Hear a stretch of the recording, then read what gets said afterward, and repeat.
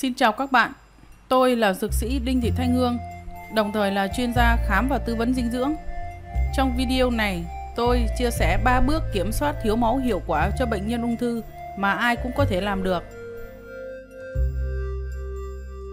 Các bệnh nhân điều trị ung thư theo liệu pháp hóa trị, xạ trị cũng như các bệnh ung thư gây ảnh hưởng đến tủy xương có thể gây thiếu máu, khiến bệnh nhân cảm thấy rất mệt mỏi, khó thở, choáng váng, chóng mặt, ngất xỉu, đau đầu, tim đập nhanh, da xanh xao.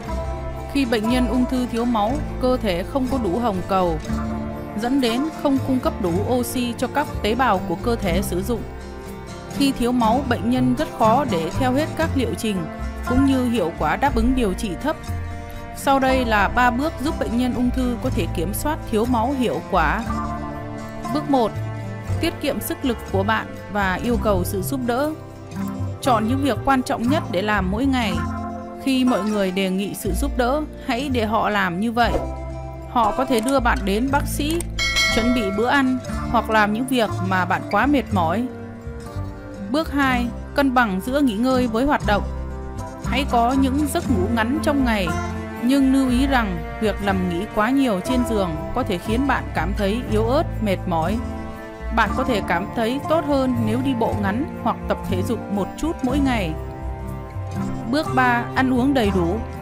Đảm bảo cung cấp đầy đủ và cân bằng các chất dinh dưỡng, protein, lipid, glucid, các vitamin, các chất khoáng và nước Tôi đã có một video hướng dẫn chi tiết chế độ dinh dưỡng cho bệnh nhân ung thư.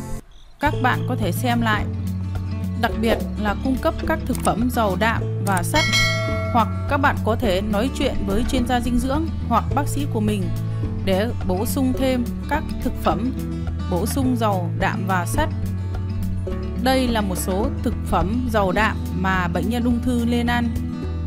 Trứng, hạnh nhân, ức gà, yến mạch, phô mai, cốt tít, sữa chua, sữa, bông cải xanh, cá ngừ, diêm mạch, whey protein bổ sung, đậu năng, hạt bí ngô, ức gà tây, cá các loại, tôm, cái Brussels, đậu phộng,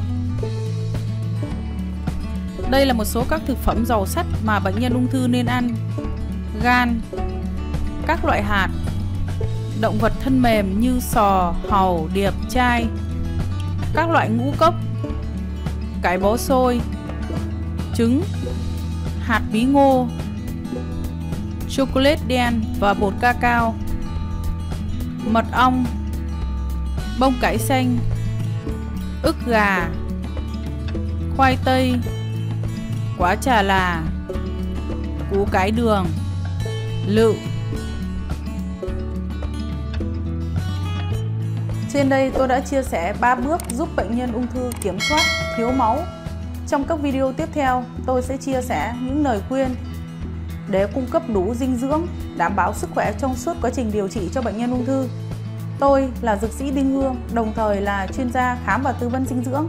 Nếu có thắc mắc hay câu hỏi gì, các bạn hãy để lại bình luận phía dưới hoặc nhắn tin qua bếp Facebook dinh dưỡng cá thể với username a còng dinh dưỡng cá thể hoặc các bạn có thể nhắn tin cho tôi qua gmail dinh dưỡng cá thể a còng gmail.com hoặc các bạn có thể liên lạc trực tiếp với tôi qua số điện thoại 0977 382 196.